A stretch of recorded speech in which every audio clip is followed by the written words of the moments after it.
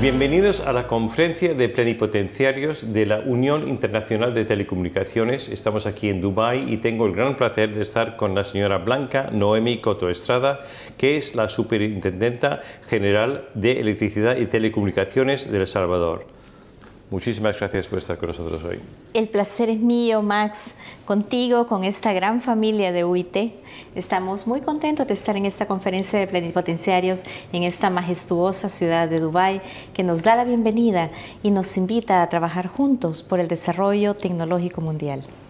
Me gustaría empezar preguntándole, en la actualidad se está presentando una atención considerable a la utilización del poder de las tecnologías de la información y la comunicación, las TIC, como facilitadoras del bien para el desarrollo del beneficio de las personas, eh, las familias, las comunidades y las naciones y esta conferencia de plenipotenciarios es la primera desde que el mundo acordó en 2015 el objetivo de desarrollo eh, sostenible. ¿Puede darnos algunos ejemplos cómo las TIC están ayudando a impulsar el desarrollo sostenible en su país? Sí, por supuesto. Quiero comentarte que nosotros desarrollamos una política pública y definimos que El Salvador debía transitar hacia la transformación tecnológica de toda la sociedad. Transitar hacia esa transformación tecnológica pasaba por definir cuáles iban a ser los ejes estratégicos de nuestra agenda digital. Los cinco ejes que contenía en ese momento la agenda digital tenía como objetivo, la primera, conectar a los que no estaban conectados, conectividad digital. Segundo, gobierno digital. Tercero, construcción de capacidades TICs en la población. Cuarto, economía digital. Y quinto, gobernanza para la sociedad de la información. Estamos entonces muy contentos de poderte contar que hemos avanzado desde cuando definimos esa agenda hasta el día de ahora. Y son los resultados que hemos presentado en esta conferencia de plenipotenciarios. Primero, hemos incrementado nuestro eh, nivel de conectividad, no solo en porcentaje de penetración móvil, sino también en porcentaje de eh, cobertura de banda ancha móvil en nuestro país. Asimismo, hemos llevado conectividad a los diferentes centros escolares de nuestro país y tenemos ya en El Salvador una planta ensambladora de laptops líder en la región centroamericana que abastece la dotación de equipo tecnológico a los centros escolares públicos de El Salvador. Desde el gobierno digital se ofrece un acceso directo, rápido y fácil a los ciudadanos particularmente para trámites hacendarios fiscales, así como también para trámites de aduanas y otra serie de trámites que desde las instancias del gobierno se están implementando. Merece particular interés el tema de la prevención de desastres, la alerta temprana que desde nuestras instituciones se están ofreciendo continuamente, así como también el monitoreo en tiempo real de la vulnerabilidad ambiental, lo cual nos ha permitido minimizar los efectos negativos en la población cuando hemos tenido eh, fenómenos climatológicos importantes. Asimismo, tenemos un tercer componente que es la construcción de las capacidades en la población. Se ha reducido sustancialmente la pobreza con la implementación de programas sociales y hay que decir que hay un particular interés en fomentar las capacidades TICS en la población y esto se está haciendo desde diversas instituciones del Estado, garantizando además que la población tenga acceso a las tecnologías de la información, no solo en las áreas urbanas, sino también en las áreas rurales, como política de Estado. Pero además queremos pasar del Internet del consumo al Internet productivo, buscando caminar hacia una verdadera economía digital. No es posible que se le siga dando el uso que se tiene eh, tradicional al Internet. Debemos utilizar el Internet para generar riqueza en la población, para aumentar Producto Interno Bruto y para mejorar la calidad de vida de las personas, fomentando los emprendimientos, fomentando las aplicaciones locales, fomentando el uso de tecnologías a nivel pequeño, pero que se vuelven en dinamizadores locales de la economía. Finalmente, los marcos legales los hemos actualizado para lograr estos objetivos. ¿Cómo entonces esto se convierte en un catalizador para lograr los objetivos de desarrollo sostenible. En primer lugar, hemos renovado las concesiones del 100% de los títulos habilitantes de los operadores de telefonía móvil y de demanda ancha en nuestro país, los que operan en El Salvador para garantizar certeza jurídica para la inversión para los próximos 20 años. Estamos pensando entonces en los próximos 20 años. Estamos trabajando en la construcción de una estrategia digital desde una comisión presidencial de alto nivel que se ha formado para desarrollar esta estrategia de transformación tecnológica del país para los próximos 20 años.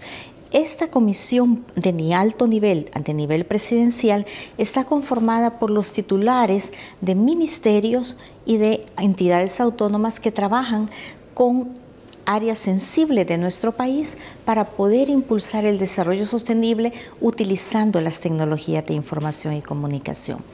Y además estamos licitando nuevas porciones del espectro radioeléctrico. Estamos licitando hoy mismo 140 MHz del espectro radioeléctrico adicionales a los que ya se tienen para que los operadores puedan prestar más y mejores servicios de telecomunicaciones, pero también desde el enfoque del usuario. Cómo el usuario tiene mejores marcos normativos que le garanticen una calidad del servicio. Calidad del servicio que se vuelve fundamental en tema de telecomunicaciones si queremos utilizar TICs en salud, si queremos utilizar TICs en educación, si queremos utilizar TIC en pequeña y mediana empresa. Hemos ahora recientemente aprobado una normativa de calidad del servicio público de telefonía y transmisión de datos para que los usuarios tengan la posibilidad de recibir, entre otros beneficios, compensaciones y un estándar de calidad internacional en materia de telecomunicaciones. Yo quiero comentarte que para El Salvador es fundamental impactar positivamente en la calidad de vida de las personas. No podemos conformarnos con generar mercado, generar transacciones. Es necesario impactar en calidad de vida de las personas. Y para ello, desde el Consejo de la UIT, al cual somos candidatos, queremos articular en la región esfuerzos que nos permitan impactar positivamente en la calidad de vida de los habitantes de la región de América Central. Somos el candidato único de la región al Consejo Mundial de UIT. Es por ello que tenemos una gran responsabilidad, un gran compromiso y hemos venido a esta conferencia de plenipotenciarios a ratificar nuestra voluntad de trabajo desde el Consejo de UIT con los objetivos de desarrollo sostenible. No basta, no basta generar tecnología, generar Internet de las Cosas, si no impactamos en objetivos de desarrollo sostenible para mejorar la calidad de vida de los habitantes de la región. Ese es nuestro objetivo, ese es el objetivo que nos une en la Unión Internacional de Telecomunicaciones y hemos venido para decir sigamos creando futuro porque lo que hacemos en telecomunicaciones es crear futuro. Sigamos creando futuro e impactemos positivamente en la vida de las personas. Cerca de la mitad de la población mundial está conectada a Internet, la otra mitad no está. Eh, ¿Qué está eh, su país haciendo para que todos estemos conectados?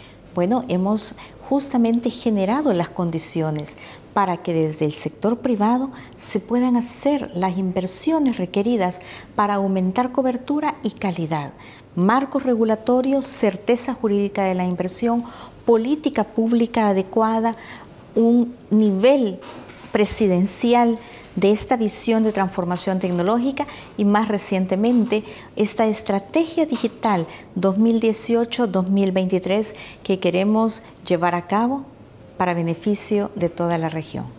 Y para terminar, eh, me gustaría saber eh, eh, si tiene un mensaje aquí, no solo para los participantes aquí de, este de esta conferencia de plenipotenciarios, pero también para el público que nos está escuchando en, en sus países. Sí, nosotros tenemos la gran responsabilidad, la gran responsabilidad, el gran compromiso con la humanidad como autoridades de telecomunicaciones, ya sea ministros, entes reguladores o los que vamos a estar en el Consejo y en las oficinas de UIT, la gran responsabilidad de contribuir a la transformación tecnológica mundial. Unamos esfuerzos para que la transformación tecnológica mundial sea un vehículo eficaz para mejorar la calidad de vida de las personas de todo el mundo, para generar inclusión, para generar equidad de género, para proteger a nuestra infancia y para garantizar una vida plena y el desarrollo de la humanidad. Estamos listos desde El Salvador, desde el centro de las Américas, desde el pulgarcito de América, como le llamamos, desde la tierra de Monseñor Óscar Arnulfo Romero. Estamos listos para trabajar junto a todos los países del mundo en la Unión Internacional de Telecomunicaciones para el logro de ese objetivo. Señora Blanca Noemí Estrada, muchísimas gracias. A usted, muchísimas gracias.